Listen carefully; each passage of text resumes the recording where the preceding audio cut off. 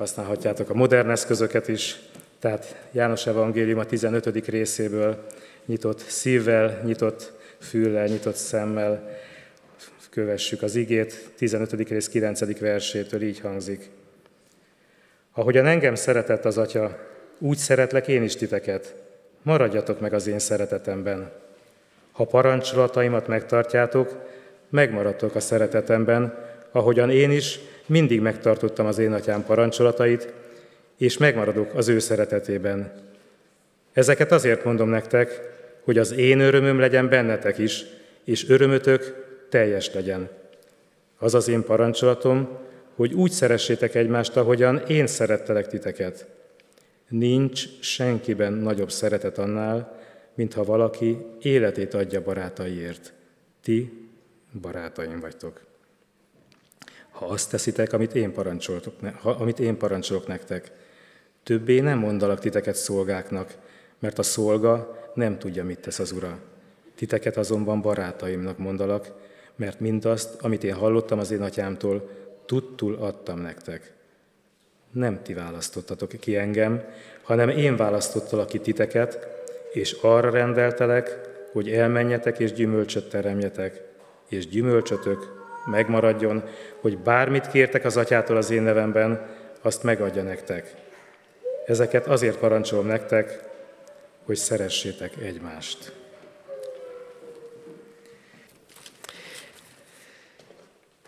Kedves testvéreink, barátaink, május első vasárnapja van, anyák napja is. Gyülekezetünkben már nagyon régóta úgy tesszük, hogy a második vasárnapján tartjuk a köszöntést, amikor a gyermekek is, illetve maga a gyülekezet is köszönti édesanyákat, nagymamákat. Ez így lesz most is ezen a, az, az évben, annak ellenére, hogy majd tulipánnal mehettek hazok mindazok, akik készültek, mert van egyébként olyan, a Zolék újfalusieknek a, a jó voltából, de jövő héten is lesz majd ilyen köszöntés, tehát hogy hívhatunk másokat is, és ebbe belevonhatunk. Amellett természetesen a gyermekbemutatásunk is lesz.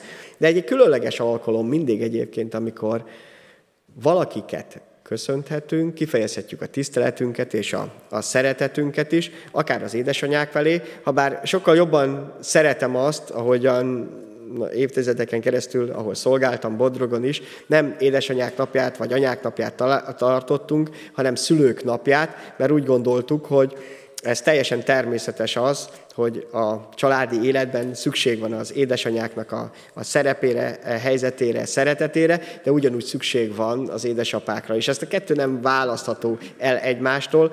Az nem mentesít bennünket, hogy az édesanyákat, nagyszüleinket is akár nagymamáinkat is eh, köszöntsük. És most valahogy ezért is jött elém ez a, az ige Istennek a szeretetéről, és arról, hogy hogyan lehet beépülni és megmaradni az Isten szeretetében, a mennyei Atya szeretetében. Hogyan ismerhetjük egyáltalán meg, és hogyan maradhatunk meg benne, hiszen Isten erre teremtett meg bennünket. Hogy az ő közösségében, a vele való szeretetben éljünk. És minden perc, minden év, amit távol töltünk Isten szeretetétől, az már maga az a, az ítélet is, amit ezzel vonunk magra, hogy nem élhetjük át a legjobb dolgot az életünkben. Az is szörnyű, ha valakinek családkép nélkül kell fölnőnie. Mert vagy elvesztette a szüleit, vagy más okok miatt ez így történik. Most éppen talán háborús helyzet miatt sokan így lesznek. De a legszörnyűbb az, ha valaki a mennyei családja nélkül él. Amikor Isten megadja lehetőséget, ettől nem zár el bennünket semmi más, hiszen Jézus Krisztus azért jött el, azért halt meg, azért támad föl, hogy mi Isten szeretetét megismerhessük, hogy közel kerülhessünk hozzá, benne legyünk. És most Jézus nekünk, a tanítványainak nagyon határozottan erről szól, erről beszél, hogy hogyan lehet Isten szeretete valóban úr az életemben. Nem csak úgy beszélni róla, mert a szeretetről tényleg könnyű beszélni, mert értjük, hogy mi az. Belénk lett teremtve. Isten képére és hasonlatosságára teremtettünk, Isten pedig maga a szeretet, ezért természetes az, hogy tudjunk, érezzük azt, hogy mi is az a szeretet, mi is az a szerelem. Akár a szülői szeretet, akár a hitvesi szeretet, szerelem, ezek, ezeket értjük. De azt is, hogy ezekben annyi negatív, annyi rossz dolog eh, került bele, és azt is, hogy nem mindig éljük meg, éljük át az Isten szeretetét. És igen, a legnagyobb kérdés az, hogy mi az akadálya annak, hogy az Atya szeretete ott legyen az életemben. Hogy ne csak egyszer-egyszer megtapasztaljuk, úgy ránk vetüljön ennek a fénye, és egy kicsit élvezzük ezt, aztán a sötétségbe kerülünk, hanem hogy vele együtt éljünk. A szeretet ez tényleg egy csodálatos dolog, ami az Istenből indul ki, az Isten szívéből indul ki. Nem csak arról van szó, hogy valamit ad a szeretet a másiknak, elkészít egy ételt. A szeretet azt teszi, hogy odaáll a másik mellé, hogy együtt készítse azt el. Isten így tett. Nem csak, hogy megteremtette a világot, és akkor rá egyszerűen odat, hanem az belehívott bennünket, hogy ebben a világban együtt dolgozzon velünk. A legnagyobb tragédia az, hogy kivettük ebből magunkat, és nem Istennel akartunk együtt munkálkodni, hanem önmagunk. Ez az igazi tragédiánk, ezzel tudjuk magunkat elválasztani az Isten szeretetétől, miközben semmi más egyébként nem választhatna el. Mi akadálya van a szeretetemnek? Jelenések könyvében mostában többször idézzük, de nagyon erős üzenet, amikor Jézus a gyülekezetnek üzen a mennyből, és azt mondja, hogy az a panaszom ellened, hogy nincs meg bár benned az első szeretet. Tehát van olyan, hogy megyből nézve is az a kérdés, hogy az a szeretet, ami az Isten elérheti, és az Isten elérhet bennünket, az Atya szeretete, az valóságos vagy sem. És azt mondja, panaszom, és aztán folytatja is egyébként, hogy meg kell térned, meg kell változnod ahhoz, hogy ugyanúgy ez a szeretet valóság legyen az életedben. De mi az akadálya ennek? Mi az akadálya azt, hogy nem azt érezzük a saját életünkben, hogy feltétlenül a szeretetlen az Úr, és akár a családunkban, munkahelyünkön kiáradna és túláradna rajtunk az a szeretet, amit tudjuk, hogy egyébként jó. Meg vagyunk győződve rajta, az, ez helyes. Az egyik ilyen hiba, illetve akadály, hogy úgy gondoljuk, hogy a, a másik miatt, mások miatt vannak problémáink, és ezért nem tudunk mit teljesen jól szeretni. Már a Biblia első lapjaiban, Mózes első könyvének a lapján láthatjuk a bűneset után, amikor Ádám így panaszkodik, hogy az, az asszony, akit mellém adtál, ő adott nekem a fáról, azért ettem. Amikor számom van kérve, hogy mi is történt. Tényleg másokon múlik ez? Az a helyzet, hogy a panaszkodásunk, amit előadunk másokkal kapcsolatban, hogy ki miért olyan, amilyen, és az milyen hatással van ránk, miért nem tudunk emiatt mi szeretni, az hülyen mutatja azt, hogy pont másban keressük a hibát, másban keressük a megoldást, mint ami valóságosan lenne. A panaszkodás erre nagyon jó mutat. Ha nem tudunk szeretni, akkor panaszkodunk. Ha nem tudunk valóban Isten szeretetébe betölteni, akkor megpróbáljuk valahogyan a mi igazságunkat kivetni, és elkezdünk panaszkodni. Amikor hallod a panaszkodásodat, most nem másokról beszél, sajátodat, bármivel kapcsolatban, akkor tudod, hogy valami nincs rendben a szeretettel. Nem, nem másokkal nincs rendben, veled nincs rendben. Tehát amikor panaszkodsz, akkor az nem azt jelenti, hogy másokkal van baj, veled van valami probléma.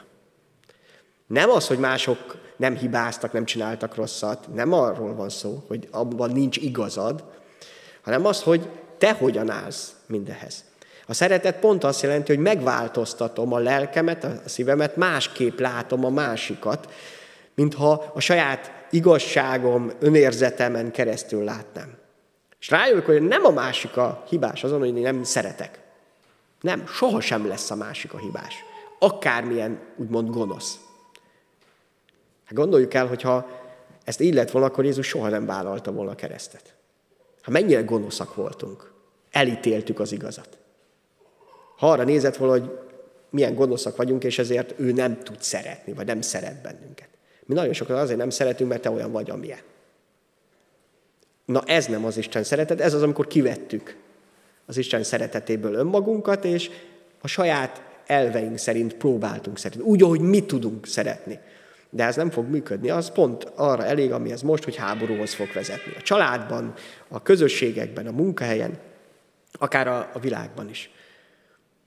Az Isten szeretete ebből szeretnek kiemelni bennünket. Nem, nem másoktól függsz, hogy tudsz-e szeretni, vagy sem. Egyedül tőled. És attól, hogy kapcsolatba vegye Isten szeretetével, vagy sem. A többi az csak kifogás, meg panaszkodás, és pont azt, hogy önmagadnak a becsapása. Isten valóban azért jött el, hogy az életedben a szeretet úr legyen. Ne csak beszélj róla, ne azt mondd, hogy hú, de szép lenne, meg de jó lenne, hanem valóban úr legyen az ő szeretete. Mert Isten ennyire szeretett téged, ennyire becsült, és ennyire fontosnak tartott, hogy az ő szeretete ott legyen az életünkben. A Szent Lelkét is ezért küldte el, ezért árad ki, hogy a szívünkbe áradjon az Isten szeretete, nekünk adatott Szent Lelk által. Nem másképp, hanem pont így. És igen, vannak ilyen akadályok, hogy ezek a szeretet úgy teljes legyen. Az egyik ilyen pont, hogyha a félelmeimre figyelek inkább, mint az Istenre. Az 1 János 4.18-ban, János első level 4. rész 18. versében ezt olvasom, a szeretetben nincs félelem. Sőt, a teljes szeretet kiűzi a félelmet. Mert a félelem gyötrelemmel járt, aki pedig fél, nem lett tökéletes a szeretetben. Így is lehet mondani, vagy a félelmeimre hallgatok, vagy az Istenre, mármint az Isten szeretetére. A kettő között itt nincs, az egyik kizárja a másikat. Van teljesen jogos okunk a félelmre. Minden percben. Rengeteg. És ezeket tudjuk is sorolni. Ezek teljesen jogos dolgok, amiket elmondasz, és ami miatt félsz. És van teljesen jogos okunk arra, hogy szeressünk. És hogy Isten szeretete érjünk. Minden pillanatban. Mert az Isten szeretetét még nem vonta meg tőlünk. Jézus Krisztus áldozata, halála és feltámad még most is érvényes. Minden pillanatban jogod van arra, és lehetőséged van, hogy Isten szeretete legyen úr az életedben, és ne a félelmeid hogy nagyobb legyen a szeretet, az Isten szeretete az életedben, a szívedben, mint azok az okok, amelyek félelmet gerjesztenek benned. Hogy a félelmeket tényleg kiűzze a szeretet. Ebben is az, hogy te döntesz, nem mások. Félelmre mindig lesz okod, lesz, amikor óriási oka lesz, tehát hogy azt mondod, hogy nincs. Isten szeretete minden félelemnél nagyobb tud lenni. Ezért ne a félelmet válasszuk akadálya lesz. Minden esetben, amikor a félelmünket választjuk, erre azt mondjuk, hogy mi nem választjuk, egyszerűen csak félünk, mert van okunk fél. Ez tényleg így van. Csak van egy még nagyobb ok ennél, amire odafigyelhetünk, amit megengedhetünk az életünkben, ez pedig az a szeretet, amelyel Isten körülvesz bennünket. És ilyen a, a gyűlölet, a neheztelés, a harag, a nem rendezett kapcsolataink. Ennek az igevers után még 1 János 4.20-ban ezt olvassuk. Ha valaki azt mondja, szeretem Istent, testvérét viszont gyűlöli, az hazug, mert aki nem szereti testvérét, akit lát, nem szeretheti Istent, akit nem lát. Vagyis a haragunk, a neheztelésünk, a, a gyűlöletünk, az pontosan megmutatja azt, hogy, hogy nem a szeretetet választottuk, kizártuk az életünkbe. A szeretet más megoldást szeretnénk keresni arra, hogy hogyan rendezzük az életünket. Mert lehet szeretettel, Isten szeretetével, és lehet másképp, például avval, hogy haragszok és gyűlölök, és nehezteléssel van tele a szív, és nem akarok megbocsátani.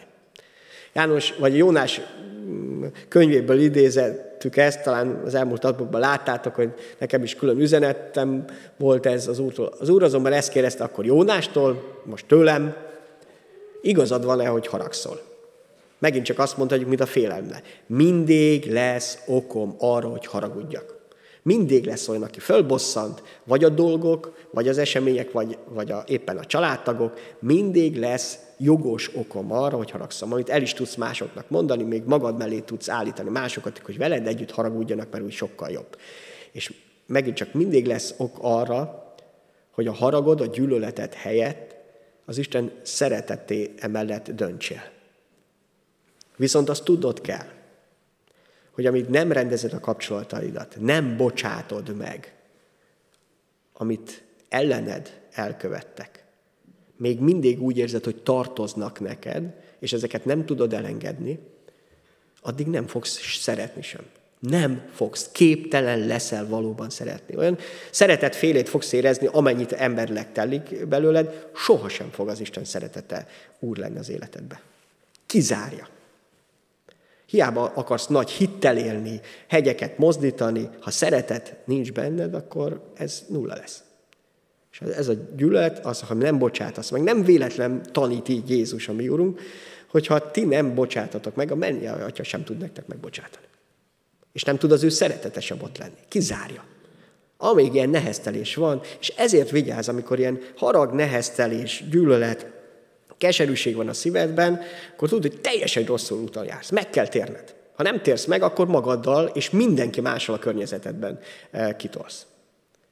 Megkeseríted a saját életedet és más. Mégis folyamatosan tudunk ebben élni, annyira meg tudjuk magyarázni nekünk az igazságunk oldalára, mivel igazunk van, igaz, Jónás nagyon így érezte. Miért volt felháborodva Jónás? Mert tudta azt, hogy Isten megbocsát olyan embereknek, akik szerintem nem kellene, hogy megbocsásson. Akik gonoszak, és nem érdem, nem érdemlik meg, hogy megbocsásson az Isten. És mi is ezt érezzük, hogy nem érdemli meg a másik, hogy megbocsássak én. Nem érdemli meg. Olyan rosszat tett velem, és úgy viselkedett meg egyébként is. Annyi minden lehet, nem érdemli meg az én szeretetemet, megbocsátásomat. Igazad van? Igazad van, lehet. Csak teljesen rosszul tajársz. És hogy nem az Istennek a jelenléte és a szeretete fog ö, ott lenni, az biztos. Ezek a rendezetlen neheztelések olyanok minden azok a taposóaknák, amiket mostában elhelyeznek az utakra, meg a háborúkba, hogy még évek múlva is szedi az áldozatait. El van rejtve, olyan, mint később befedi a föld, mintha minden rendben lenne, és akkor a legveszélyesebb. A rendezetlen kapcsolatok lehet, hogy most nem jönnek a felszínre, nem okoznak nagy problémát, veszekedést egy családban, egy, egy közösségben, de ha ott vannak, csak időkérdése, hogy valaki rá fog lépni és robbanni fog. Ezért előtte kell hatástalanítani ezt teljesen. Ezeket az előítéleteket, hogy nem, hisznek a, nem hiszek a másik, nincs bizalma, egyszerűen le kell leplezni. A szeretet pont a bizalomnak a megelőlegezése, amely Isten is velünk tett. Megbízott abba a szeretetével, hogy lehetőségünk legyen változásra. A szeretet nem tud mindent megoldani mert a másikat nem tudja megváltoztatni feltétlenül, a másik hozzáállását. A szeretet engem tud megváltoztatni, és lehetőséget adni a jövőre és az áldásra. Viszont szeretet nélkül nincs lehetőség. Isten, szeretet nélkül, Isten szeretete nélkül sem, és a te szereteted nélkül sem, a családodban, a munkahelyeden nincs, nincs lehetőség a jövő változásra. Nem tudsz mindent megoldani vele. Nem úgy lesz, hogy ha szeretni fogsz, akkor biztos, hogy rendben jönnek a kapcsolatod. Nem fog biztos rendben jönni. Mert ahhoz a másiknak is kéne változnia. Az pedig nem biztos, hogy így lesz. De nem lemondani kell emiatt a szeretetről, pont azért, mert ha te nem szeretsz, esélye nem lesz a változásnak, és ráadásul te nem fogsz változni. Te nem fogsz beletöltekezni azzal a szeretettel, amit Isten egyébként elhozott. Azt olvastuk, hogy János evangéliumában, amit most felolvas, János 15-16-ban, hogy nem ti választottatok ki engem, hanem én választottalak ki titeket. Mármint ezt az Úr Jézus mondja a tanítványainak, így nekünk is. Tudva az, hogy lehet, hogy döntöttek, hiszen Péternek ki kellett mondani, hogy Uram, megyek utánad. Hívta és ment. De mindig tudnunk kell azt, hogy Isten először lépett felénk. Ő az, aki megszólított bennünket. És mi erre válaszoltunk. Ez egy hatalmas dolog. Ez már egy hitbeli lépés volt, de nagyon sokszor úgy van, hogy mi szeretnénk először választani.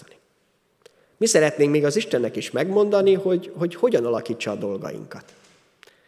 És amikor ez, hogy mi hogy választanánk, valószínűleg másképp, mint ahogyan Isten adta a környezetemet például. A családomat, a munkahelyemet, vagy, vagy egyáltalán azokat az embereket, akikkel találkoznom kell, akár még a gyülekezetben is, mert hogy annyi bosszúságért ezen keresztül, annyi nehézséget ö, okoznak ezek, hogy én biztos, hogy másképp választanák, mint az Isten. De ő választott előbb. És mi a biztonságosabb, hogyha állandóan azon bosszankodok, hogy Isten miért így választott, nem mondom ki feltétlenül, hogy ő, de hát azért mégiscsak arra bosszankodok, miért így van.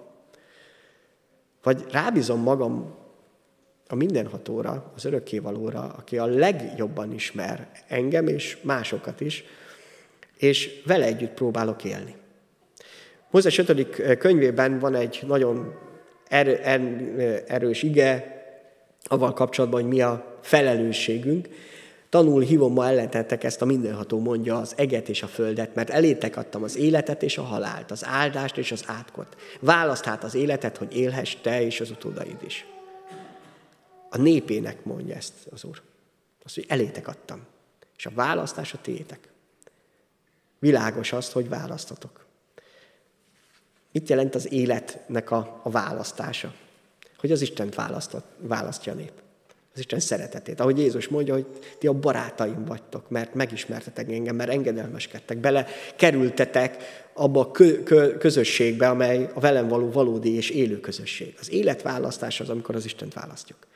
És az életválasztása ezért az, amikor a szeretetet választod. Minden alkalom, amikor a gyűlöletet választod, a haragot választod a szeretet helyett, az a halál és az átok választása. Akármennyire meg tudod indokolni, magyarázni, és még talán haragszol is emiatt másokra. Az életet választasz, hogy eléd adtam, lehetőséget van. Jézus ezért jött el. Ezért adott ehhez segítséget. És igen, Jézus beszél ebben összefüggésben arról a János 15-11-ben, hogy ő neki az a terve, hogy az ő öröme az életünkben megjelenjen. És ráadásul még nem csak, hogy úgy halványan pislákoljon Jézus Krisztus öröme, hanem azt hogy az örömötök teljes legyen. Azt is mondom, az a jó kedv, az a, mivel mások felé, ami a szeretetnek a legfontosabb alapja egyébként, az ott legyen az életetekben teljes mérték. Ezt maga Jézus mondja el. És azt mondja, hogy ez a szeretettel teljesen összefüggésben van.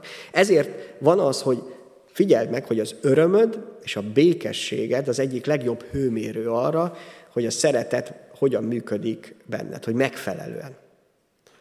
Ha a szeretet munkálkodik a szívedben, a akkor békességed is lehet, ezzel együtt és ennek a következményében, és valódi mély örömöd lehet, amit megélhetsz függetlenül a helyzettől. A Filippi 4-ben erről olvasunk a lélek által, azt mondja Pálon keresztül az Úr, örüljetek az Úrban mindenkor. Ismét mondom, örüljetek. Ti szelítségetek legyen ismert minden ember előtt az Úr közel. Semmiért se aggódjatok, hanem imádságban és könyörgésben mindenkor háladással tárjátok fel kéréséteket az Isten előtt, és Isten békesség, amely minden értelmet meghalad, meg fogja őrizni szíveteket és gondolataikat Krisztus Jézusban. Nézzük meg visszafele, azt mondja, hogy a lényeg az, hogy Krisztus Jézusban ott legyek. Erről beszélte az Úr, hogy maradjatok meg én bennem, és az én szeretetemben. Ennek lesz a következménye az, hogy Isten békessége ott lesz a szívemben, és az ő öröme teljes lesz. Ha nincs örömed és békességed, akkor a szereteteddel komoly probléma van. Az Isten iránti szereteteddel, és ebből fakadol a mások iránti szereteteddel. Szükséged van a változásra, a megtérésre. Nem lehet halogatni. Nem lehet azt meg, hogy hát jó lesz ez így meg. Lehet, de akkor nem fog semmi sem változni. Ugyanúgy csak panaszkodni fogsz másokra, leterhelődni, és nem éled át, és ez a legnagyobb, nem éled át ezt az örömet és ezt a békességet, amit az Isten elhozott. A körülmények ellenére, és az a sok rossz dolog ellenére, ami körülvesz bennünket és bennem. Ez a legfontosabb választása. A Márk 12-ben eh, is olvassuk, amikor Jézus rákérdeznek, már 12-28-tól. Oda ment egy írástudó, aki hallotta őket vitázni, és fel tudta, hogy Jézus jól felelt neki, megkérdezte, melyik a legfőbb az összes parancsolat közül. Ezt mondta Jézus, halld meg Izrael, az Úr, ami Istenünk, egyedül az Úr, szeresd az Urat, a te Istenedet teljes szívedből, teljes lelkedből, teljes elmédből és teljes erődből, Második, ez szeres fel a barátodat, mint magad. Nincs más ezeknél nagyobb parancsolat. Ez a legfontosabb választás. Nincs ennél fontosabb választás. Nincs ennél nagyobb igazság, mint azt, hogy Isten szeretett téged és engem, az ő egyszülött fiát adta, hogy megszabadítson a gyűlölet, a harag, a neheztelés, a meg nem bocsátásnak az átkától. Ne fogd Istenre azt, hogy miért érsz gyűlöletbe. vagy haragba? Miért vagy rosszba másokkal? Ne fog, ne is hozzá. Pont azért jött el, hogy ne élj benne. Ha benne élsz, azt jelenti, hogy még nem engedelmeskedsz neki. Nem tudsz közel kerülni hozzá, mert nem vagy hajlandó lemondani az igazadról, arról, jogos a haragod, nem vagy hajlandó változtatni azon, ami itt Isten pedig minden segítséget megad rá. Mit tegyek, hogy szerethessek, hogy jobban szerethessek? Nagyon hasonlót kérdezett Jézustól, egy szintén egy írástudó, Lukás 10-ben olvasjuk az irgalmas samaritános történetének a bevezetőképpen. Akkor felállt egy törvénytudó, hogy megkísértse, és ezt kérdezte, Mester, mit tegyek, hogy elnyerjem az örök életet? Pedig ezt mondta, mi van megírva a törvényben, hogyan olvasod? Ő pedig így válaszol, szeresd az Urat, a te Istenedet teljes szívedből, teljes lelkedből, teljes erődből, teljes elmédből, és fele barátodat, mint magadat. Jézus ezt mondta, helyesen feleltél, tedd ezt, és élni fogsz. Ennyire egyszerű. Nem véletlenül Jézus ennyit. Lezárta. Ennyi. Tedd ezt, és ez lesz az életed. Nem kell semmit cifrázni, valami különleges dolgot hozzátenni. Ha ezt az életedben valóság, akkor élni fogsz. Ez az élet, amiről az előbb olvastunk, hogy válaszd az életet. Persze ismerjük a történet folytatását, hogy hát elkezdte a kifogálni, akkor kit is kell szeretni, ki, ki az én eh, fele barátom, de ennyire egyszerű a rendezett kapcsolataim mindenek felett. Az első az Istennel, hogy megbékéljel. Hogy ne neheztelj az Istenre, ne kér számon, vagy ne legyél rosszba vele, ne a hátadat mutassad neki, vagy zárd ki az életedből, hanem rendez az Istennel a kapcsolatodat. Ez az első. Enélkül nem működik semmi más.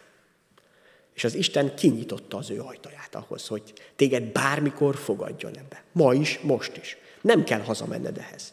Nem kell halogatnod az időt arról, hogy végre rendezz az Istennel a kapcsolatodat, és ne rosszba legyél vele. Vagy olyan felidő a harmadából. Hanem valódi, élő, szeretet kapcsolatban.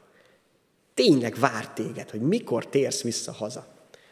Jézus Krisztusban meghívott erre minden lehetőséget magad, hogy az összes szennyedet, bűnedet, gonoszságodat kész elvenni, megbocsátani, megtisztítani, ebben halt bele, ennek fizette meg az árát. Nincs semmilyen akadálya annak, hogy az Istennel megbékélje. Hogy valódban békesség. És ne úgy menjél tovább ma, hogy nincs rendezve teljesen a kapcsolatod az Istennel. Jó, jó, hiszek benne, de. Hogy ne legyen de. Hogy teljes mértékben oda tudja szaladni hozzá, mint egy kis gyermek a szüleihez, az édesanyjához vagy az édesapjához, és ö, oda menjen, hogy átölelje, hogy fölvegye. Erre hívott el az Isten, hogy átöleljen és fölvegye. Ne zárd ettől magadat el. A rendezett kapcsolatok mindenek felett. Ez a szeretet. Erről szól a szeretet. Először az Istennel. Utána következik másokkal, mert nagyon nehéz úgy szeretni egyébként valóban másokat, hogy nincs, ami föltöltsön. A saját erőmből nem fogom tudni megtenni, szükségem van arra a szeretetre, amit az atyánál kapok. Hogy utána tényleg másokat is tudjam szeretni. Nézzük, mit mond Jézus az Isten országának alaptanításában. Azt mondja, hogy ha tudod, ha áldozati ajándékodat az oltárhoz viszed, ami nagy dolog volt, a legnagyobb kérdés az, hogy ezt megteszik, ott eszedbe jut, hogy testvérednek valami panasza van ellened. Hagyd ott ajándékot az oltár előtt. Menj el, békülj ki előbb testvéreddel, és akkor tér vissza is. Vidd fel az ajándékodat. Békülj meg ellenfeleddel idejében, amíg együtt vagy vele az úton, hogy át ne adjon neked ellenfeled a bírónak, a bíró pedig a szolgának, és börtönbe ne kerülj. Az az igazság, hogy vagy rendezed a kapcsolataidat másokkal is, személyekkel, vagy börtön. Nincs más. A börtön azt jelenti, hogy fogságba vagy. Nem vagy szabad. A haragod, a keserűséget fogságába. A neheztelésed, a panaszkodásod fogságába. Vagy rendezett kapcsolat, vagy börtön. Átfogadni. Ezért mondja azt, hogy ez is nincs ennél fontosabb. Még sem az áldozat, se az imádság, semmi más dolog. Nem lehet elő azt hinni, hogy majd az megoldja. Nem old meg más, ez a te lépésed. Ezt neked még egyszer, az nem biztos, hogy a másik rendezni is fogja. De a te lépésedet neked kell megtenned. Másképp úgy is tudom, vagy szabadon tudsz szeretni, Isten segítségével, vagy bezárva sírni és panaszkodni. Mármint a szívedet bezárva, sírni és panaszkodni másokra, hogy milyen kegyetlen a világ, mennyi rosszat tettek velem. Teljesen jogosan. De van másik út. És ez, ez az utat hozta Jézus Krisztus. Ezért kellett meghalni, mert valós a panaszod, de az igazság veled szemben is valós a panasz. Az Istennek is valós volt a panasza, meg másoknak is. Nehogy azt hitt, hogy csak te, a te szívedet törték össze, téged csaltak meg, neked mutattak hátat, te ugyanaz megtettek, csak észre sem vetted. Ezért kellett, és ezért van szükségem nekem arra, hogy mindig oda menjek a mennyei atyához. Hogy megújítson, megbocsásson, mert annyira rossz a szemüvegem. Simán átlépek másokon, és utána számon kérem másokon, hogy miért tették ugyanazt velem. Szabadon szeretni csak Isten szeretetével lehet. Ha amit én vétettem, tudok bocsánatot kérni, amit megismertem, de az Istennel mindenképp rendezni, úgy utána másokkal is lehet.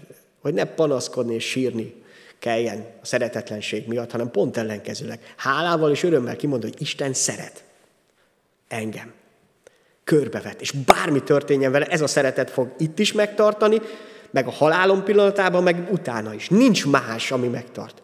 Isten szeretetén kívül semmi nem visz át a halálon. Ebbe tudunk csak belekapaszkodni. Ez jelenti azt, hogy szabad lehettem élni is végre, szeretettel élni. És ebben ragaszkodni kell ehhez. Minden áron. És ehhez nem egyedül kell hozzáfordulunk, mennyei segítséggel tudunk élni. Jézus erre hívott el, hogy éljetek én bennem, hogy velem által, az atya, atyából élve tudjatok gyümölcsöt teremni. János 15-12-ben azt mondja, hogy úgy szeressétek és ahogyan én szerettelek titeket. Vigyázzat, ez nem azt jelenti, hogy van egy mérce, hogy Jézus mennyire szeretett bennünket, ezt megpróbáljuk lemásolni, valahogy valami hasonlót csinálni. Egyáltalán nem. Behívni Jézus az életemben, hogy vele együtt tudjak szeretni. Mert nélküle nem megy úgy szeretni, úgy csak Jézus tud szeretni. Csak úgy működik ez, ha szívemben tényleg ő él. Tényleg ő az Úr. Egyébként nem tudok úgy szeretni, ahogy Jézus. Ez magamtól nem megy, nem lehet lemásolni ezt. Körülbelül tényleg úgy tűnne, mintha én az egyik gyönyörű festmény Michelangelo-nak, vagy bármelyiknek le, le akarnám festeni. Hát az valami szörnyű lenne. Körülbelül így működne, ha működik, amikor én úgy akarok szeretni magamtól, mint ahogy Jézus szeretett engem. Másképp nem megy, mint hogyha az életemben Úr, és tényleg ő vezet. Átlépek a határaimon vele együtt.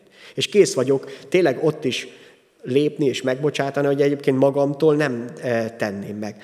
János 15-17-ben utána mondja, ezért parancsoltam nektek, hogy szeressétek egymást hogy ez, ez valóságosan, hanem nem lemásolom, azzal az erővel élni, amiben Jézus Krisztus munkálkodik. És nagyon érdekes az, hogy Pálapostól, amikor már gyülekezetek alakulnak, már Krisztus nincs közöttünk, csak a Szent Lélek által munkálkodik, akkor ugyanerről beszél.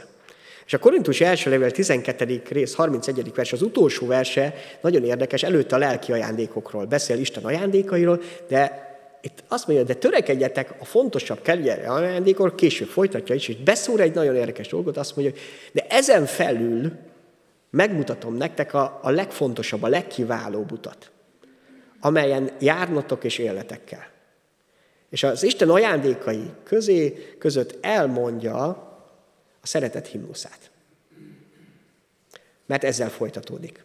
A legkiválóbb út a szeretet útja, ami az Isten felé vezet ami nélkül tényleg a legnagyobb hit is, a legnagyobb odaszánás is, a legszebb ének is nem ér semmit.